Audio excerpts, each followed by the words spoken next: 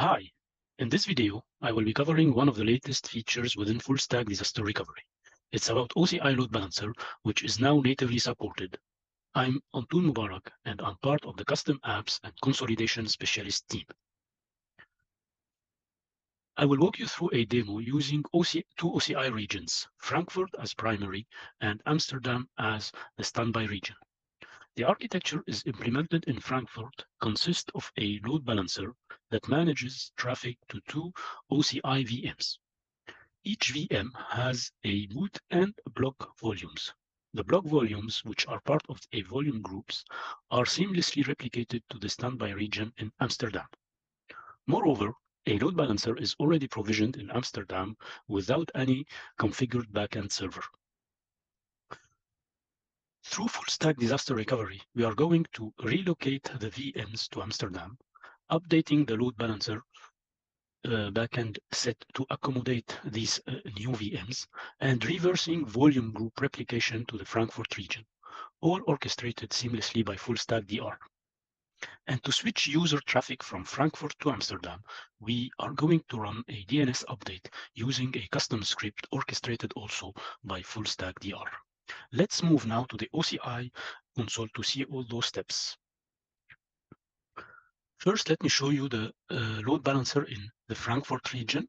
So if I go to the details and I will click on the backend set, I can see that I have only one backend set and the backend servers are the two VMs here in uh, in Frankfurt. And in the Amsterdam region, I have the load balancer already provisioned, but it's not in a healthy state, it's incomplete state. I have also a backend set, but there is no backend server inside this uh, load balancer. Let me finally show you the uh, load balancer, uh, well, my applications, two uh, web servers running behind the load balancer and it's working fine. You can see that the load balancer is handling the traffic to the two VMs. So now let's move to the DR, uh, the full stack disaster recovery setup. I'm assuming in this video that you are already familiar with full stack disaster recovery. So I have already created the DR protection group in Frankfurt and the other one, the DR protection group also in the Amsterdam region, and they are already associated. In uh, Frankfurt, I have added the two moving compute instance as members with the uh, corresponding uh, block, uh, sorry, volume group, uh, and those volume groups are replicated to Amsterdam. And in Amsterdam, I have no members for the moment. So I, what I want to show you is just how to add the load balancer as members. So in, I will start by Frankfurt region. I will click on add. From the resource type, I will choose load balancer. And I will choose the load balancer name. In Frankfurt, I have only one. And then I will ch check the load balancer, the uh, destination load balancer in Amsterdam. So here I can have this one, I have only one load balancer in Amsterdam. The source backend set in Frankfurt, I have only one backend set. And the destination backend set in Amsterdam. I will not check this box because I am in a moving instance configuration and I will click on add. So the load balancer in Frankfurt is now part of the DR protection group member. Let's add the load balancer in Amsterdam now. So we'll go to the Amsterdam region in members, click on add. The same thing we'll do, load balancer, the load balancer name in Amsterdam, the destination load balancer in Frankfurt, the source backend set in Amsterdam, and the destination backend set in Frankfurt. And I will click on that.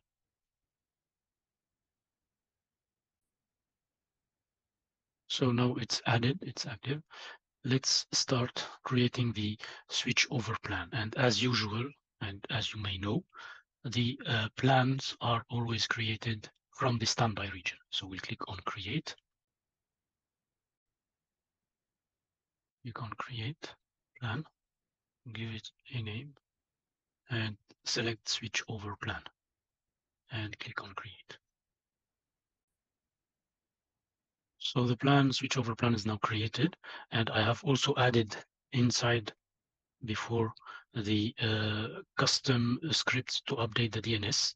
But as you can see here, we have two built-in models related to uh, load balancer. So the first one is update source load balancer backend sets in Frankfurt. So this step will remove the uh, VMs from the backend set setup in Frankfurt. And once the VMs are moved from Frankfurt to Amsterdam, full stack DR will update the load balancer backend set in Amsterdam to add those new VMs as backend set. And then we will update the DNS with a custom script running in one of the VMs. So basically, this is my uh, DR plan for uh, this demo. Let me start a pre-check.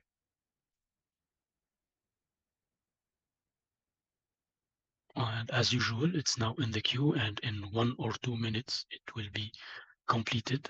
So let me pause the video as of now and we'll be back once it's Pre-checks are uh, completed after two minutes, 18 uh, second.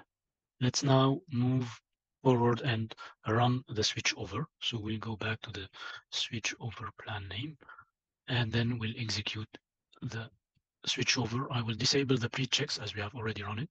So, and we'll execute. And yeah, as usual, you can see that it will start by updating the load balancer backend set. So it will remove the backend set, the VMs from the backend set, and then move the VMs to the other region, update the backend set in Amsterdam.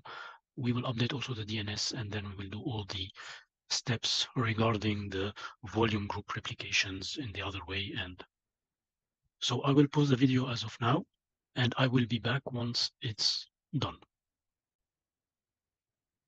So just a quick recap. Uh, the backend set is completed successfully. So let me check here that yeah, the application is now unavailable.